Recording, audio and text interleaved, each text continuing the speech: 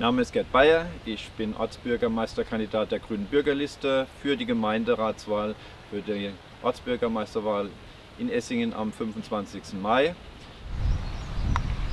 Ja, wir stehen hier vor der guten Stube von Essingen, vor der Dahlberghalle.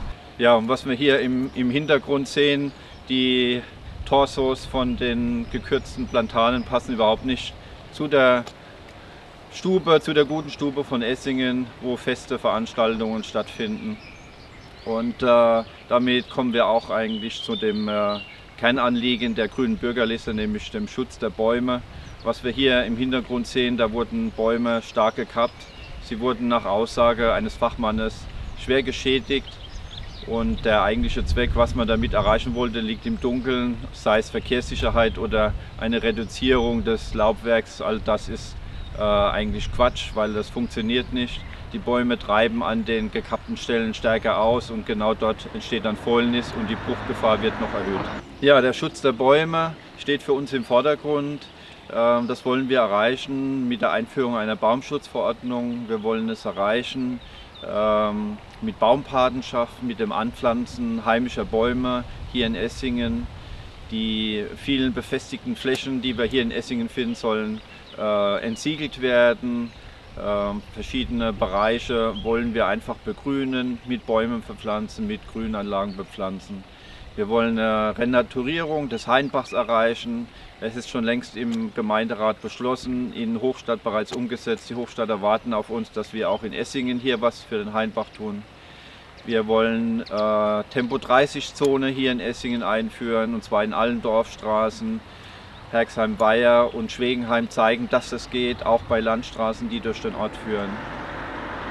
Das Biotop, äh, wir Essinger Sachen Weltel dazu, am Silbersee gilt es zu schützen. Dort wurden großflächig jetzt äh, die Pappeln gefällt.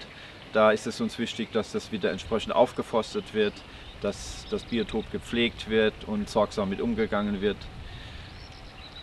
Der grüne Gürtel um Essingen ist uns wichtig, dass ein grüner Gürtel in der Landschaft rings um Essingen entsteht, dass die öffentlichen Flächen nicht gemulcht werden und dass äh, die Ackerrandstreifen äh, naturbelassen werden, also auch die nicht gemulcht oder gar abgespritzt werden. Wir sind ganz klar gegen den Einsatz von Pestiziden außerhalb der Landwirtschaft.